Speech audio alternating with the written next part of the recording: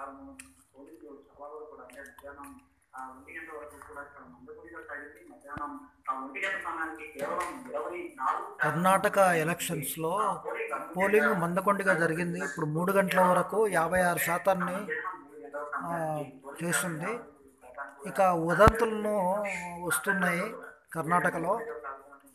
ఏ విధంగా అంటే ఏది నొక్కినా బీజేపీకి ఓట్లు పడుతున్నాయని చివరగా ఆ చూస్తున్నట్లయితే దాదాపు కూడా ఎన్నికలు అంటే సాయంత్రం ఆరు గంటలకి ఆ పోలింగ్ పూర్తయ్యే సమయానికి దాదాపు డెబ్బై శాతం నుంచి పోలింగ్ నమోదవుతుంది అవకాశాలు ఉండడంతో అభ్యర్థి కూడా తెలుస్తున్న పరిస్థితి మరొక ఈ ఎన్నికలకు సంబంధించి చంద్రబాబు వెళ్ళాల్సిన ప్రధాన మతం ఆ ప్రచారానికి కొనసాగుతుంది కర్ణాటకలో మధ్యాహ్నానికి ఓట్ల శాతం పెరిగింది.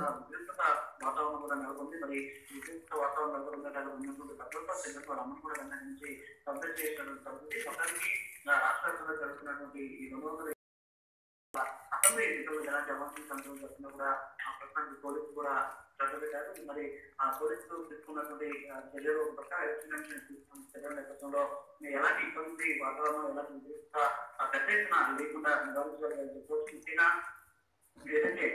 రాష్ట్ర వ్యాప్తంగా ఉన్నటువంటి దాదాపు ఈ సమస్యాత్మక సమస్యాత్మకమైనటువంటి కేంద్రాలు ఏవైతే దాని వాటిని దాదాపు పన్నెండు వేల రెండు పోలీస్ కేంద్రాలు గుర్తించడం జరిగింది. మరి ఈ అతి సమస్యాత్మక ప్రాంతంలో ఉన్నటువంటి పోలీస్ కేంద్రాలు ముఖ్యంగా చాలా మంది హంగొస్తున్నారు అంటుంది కానీ అంటున్నారు కానీ ఒక రాజగోపాల్ విజయవాడ అనూహ్యంగా ఒక మాట చెప్పడం జరిగింది.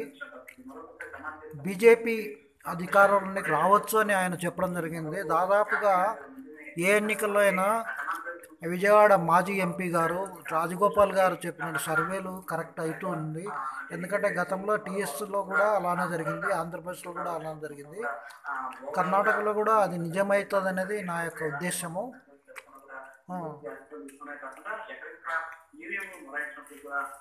కొన్ని కొన్ని విఎంలు మొరాయించడం దాదాపు త్రీ పాయింట్ ఫైవ్ లక్షల మంది ఎన్నికల విధుల్లో పాల్గొన్నారు. మహిళల కోసం ప్రత్యేకంగా ఆరు వందల పింక్ పోలింగ్ కేంద్రాలు.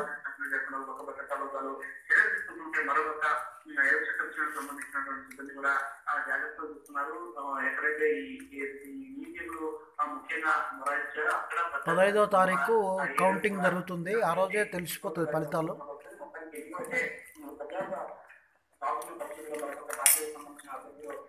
వాళ్ళు గెలుపు మీద ఆ ధీమా కూడా వ్యక్తం చేస్తున్నారు. ముఖ్యంగా అయితే గాంధీనగర్ దగ్గరకి నియోజకవర్గ పరిధిలో పోలింగ్ బూత్లో జేడీఎస్ నేత అయినటువంటి మళ్ళీ రాష్ట్రపతి మల్లేష్ అక్కడ ఉన్న అరెస్ట్ చేశారు.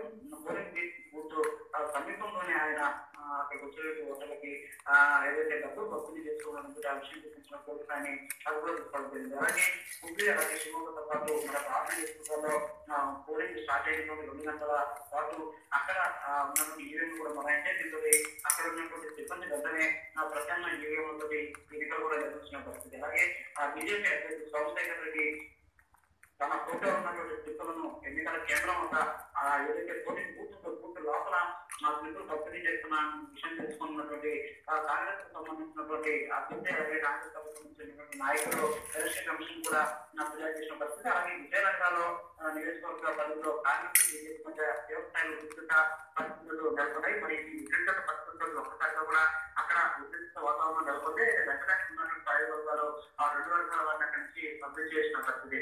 మరోపక్క ఏంటంటే ఆ, చింతామణిలో కూడా అక్కడ ఆ, స్వతంత్ర అభ్యర్థికి సంబంధించినటువంటి వర్గీయులు అలాగే జేడీఎస్ సంబంధించినటువంటి వర్గీయుల మధ్య తీవ్ర స్థాయిలో వర్గాలు ఒకరికొకరు దీంతో కూడా అక్కడ ఉన్నటువంటి వాళ్ళందరూ కూడా అక్కడికి చేసి వర్షాలు కూడా తగ్గించి అక్కడ ఎవరు కూడా ఇబ్బందులు పడకుండా పిల్లలు చేస్తుంది ఇక సముద్రపు నియోజకవర్గాలు రామనగర్ అలాగే కనకపురం విద్యార్థుల అలాగే మాలిక్ పల్మూరు బలవాన్ని జరగాలి గోవిందరాజు